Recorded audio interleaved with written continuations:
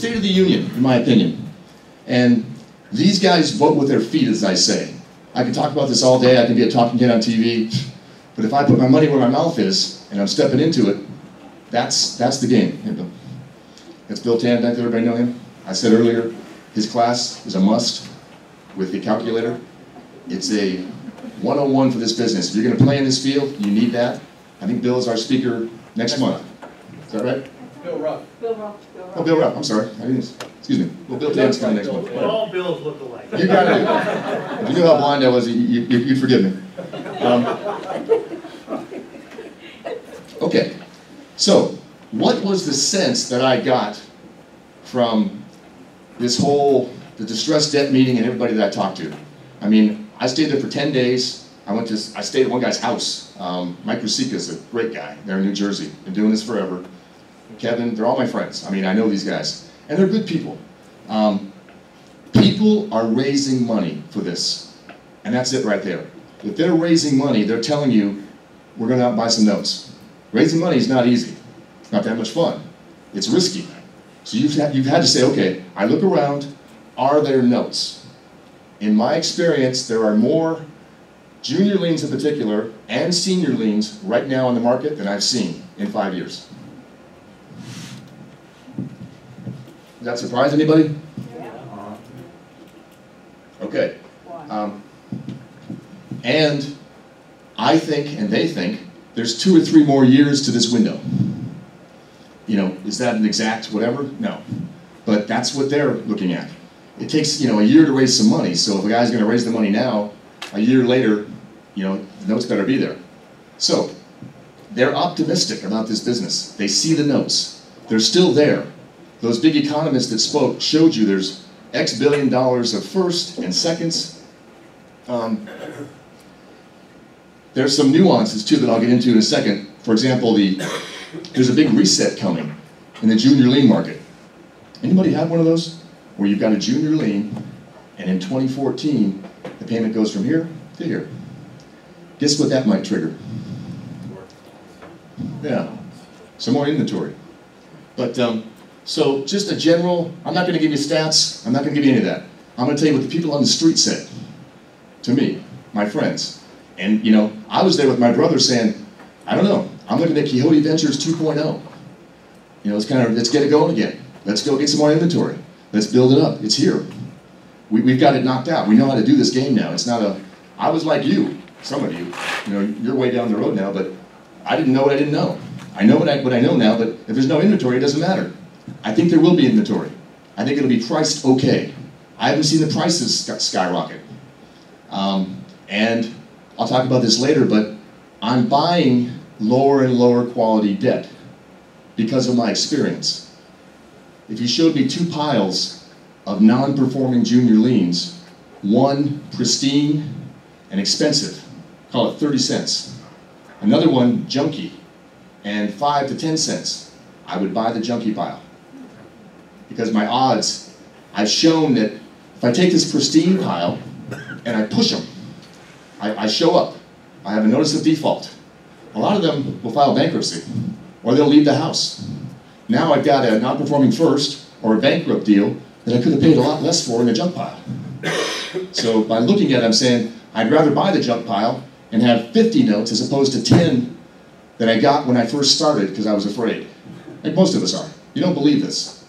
So, does that make sense? Is this, am I taking this where everybody, is this, I'm getting too off here? Yes, Gary. No, good. Good. Everybody else agree? Yeah. Okay, because I'm not, I'm not, I'm, you guys have seen my normal presentation, I'm not doing that tonight. I'm talking about the world and the marketplace. So just wanted to make sure that everybody's okay with that. Um, I talked about the conference and good debt, bad debt. Go to the next one. Next one now? Um, so once again, here's what I'm going to do. I have a non-performing note business, and I have a, um, a mantra, and here it is: Stay small, keep it all. Stay small, keep it all, because I judge these funds, these investors, these hedge funds. I say, what do they do? What's their main source? Are they getting notes and trading them? Are they raising capital, or do they have 100 million bucks of their own? They don't need to raise capital. And the collections, do they do it? Are they good at it? The fourth one would be, who are these guys? I interviewed a couple guys, and it wasn't really an interview, it was lunch. But I said, you know, what you used to do? Oh, I had a restaurant. Uh, don't ever do that. Don't ever have a restaurant with a bar. Bar makes money, restaurant doesn't. Lost 80 grand. You know, this is more than just about notes. Yeah, there's a big spread here if you know what you're doing, but it's also about managing your business. How many employees do you have? If you got a 100 grand a month overhead, I don't care what the business is. And a lot of guys go that way. So these are the things that I looked at when looking at these guys. And why do I care? Well, guess what? I can go back to them and say, how's it going? You know, what can I do for you? Well, we got to get rid of these notes. Why is that? Can't make payroll. Hmm, okay. So you can see there's no opportunity there. And, and it's a mindset, too, that we all need to have that, you know, I share. I don't go like this. You guys have noticed that. I don't hide what I've got.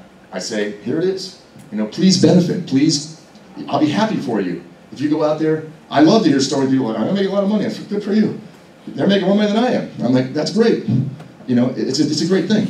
But by helping these people, my last words at every meeting was, and what can I do for you? Think of something. You know, people take my book, these hedge funds, and, and, and they give it to their investment partners or their spouses or different people that don't really want to know the business, but they kind of get an idea of it, to feel comfortable about it. So that's one thing that I've done for them. Say, you know, your book has helped us. Great. So when I call them, they'll take my call. When I go to New York and New Jersey, we have a meeting. I stay at their house. So um, those are the four ways I'm going to look at the. Um, yes. What's the title of your book? It's called Performance Anxiety. It's on Amazon and Kindle.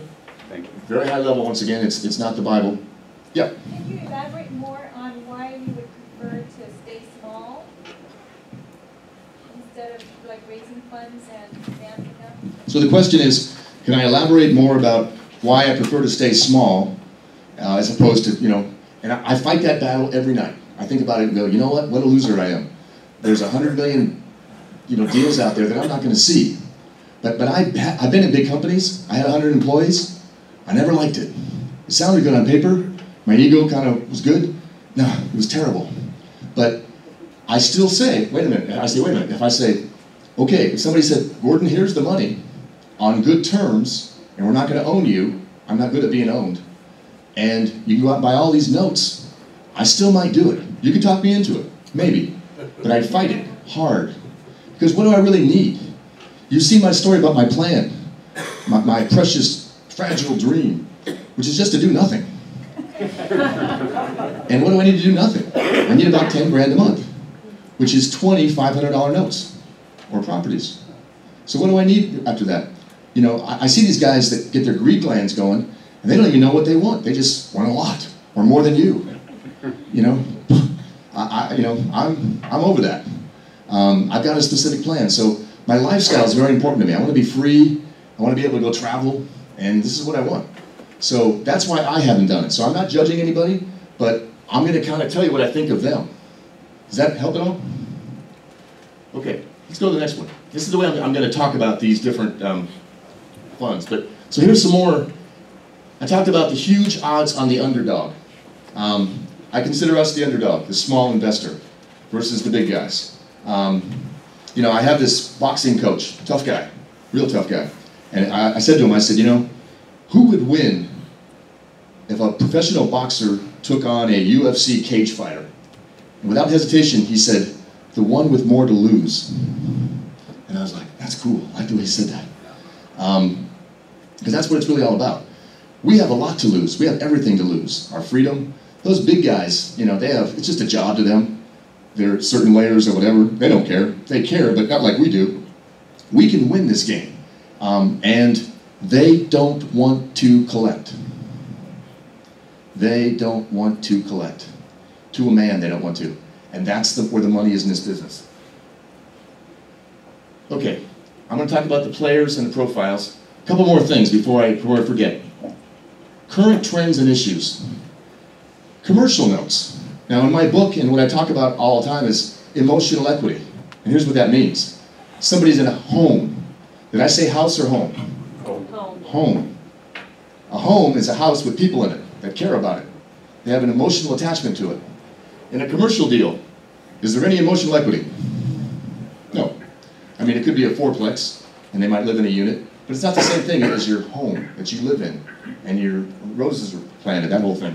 So, but there's, I sense these guys, and they, they confirmed it, there's a lot of this out there, and more coming, the commercial notes. I've got a commercial background. I was a commercial real estate broker for seven years. I know the game. Um, so, something to think about. We're thinking about it now as another avenue. Commercial notes. There's going to be a lot of them. You can get huge discounts on these things. The question is, what do you do with them then? Yeah.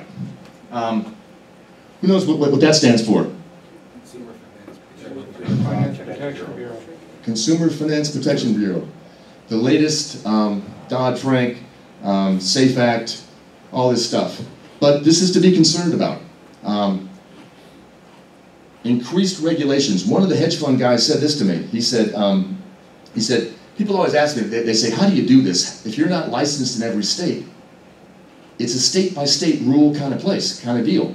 If you have a note in Idaho, they have certain rules to start a foreclosure, to deal with the borrower. How do you do that? And I say simple. I hire a national servicer, not too much money, $18 a month, and I'm under their license. Covered. So that issue's not an issue. As long as I own the debt, it's my debt, I've got a right to collect, I don't need to be licensed. They're thinking about changing that. Saying that you got to be licensed in every state, owner or not. Hasn't happened yet.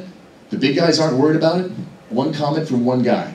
But that one needs to be added to the menu of things to be aware of. You know, there's the FDCPA, the Federal Debt Collection Practices Act, okay?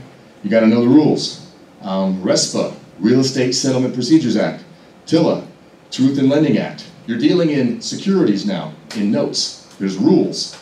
This is the newest one. Put that on your radar. Um, I talked about this reset. They're very focused on that.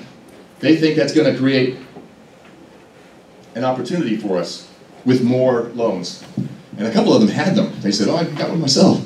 I got 100 grants, junior lien, and it's going from $800 a month to 1200 in, in July. Anybody experience that? Anybody have that lined up? Because I didn't know about that. But it's something to be aware of. Um, okay. So let me go through. I'm not going to, to protect the guilty and the innocent, I'm not going to mention any names. Um, but I'm going to kind of go through a profile of these funds out there. And there aren't that many. Um, let's talk about one, and I'll have a code name for it, and some of you might know that already. I'll call them Big Gorilla. And they're in Southern, they're in Southern California. And uh, they were one of the ones that five years ago, I was blown away by their presentation at this distressed debt conference. I was like, you hear all these appraisers talking about this, and these regulators talking about this, and these attorneys talking about this. Boring. This guy, he says, I'm out there buying notes. And ah, ah, animal. I said, wow, this guy gets your blood going. This guy's, you know, something else. They had a company, and they got the biggest office building in this certain area, big name across the top. They, they, uh, I went there a couple times to buy, they would sell you a single note to a new investor, okay? You go in there, and this is not, not, not an exaggeration, mohawks, tattoos down their face, metal all over their face. Tough guys. I mean, I was like, whoa, you know, where's the workout? This is the workout area. Oh, okay, wow. And they weren't good guys, and they would tell you right up front. They would lie, cheat, and steal right in front of you, and you know, you'd, you'd be offended, and they'd say, what's your problem? And you'd say, well, you know, you just lied to me. And they're like, yeah, so, you know, get over it. Come back tomorrow. And I said, I won't be back tomorrow. I won't be back ever. And they said, well, you're not going to buy any notes. And I said, exactly.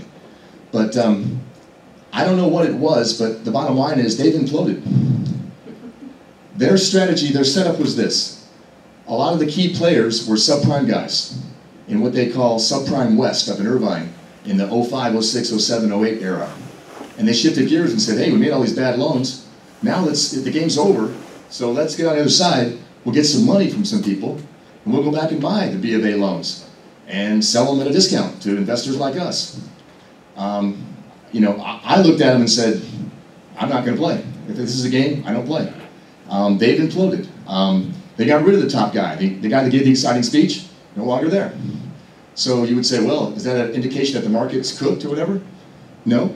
As I said, people are still raising money. There's new firms coming up.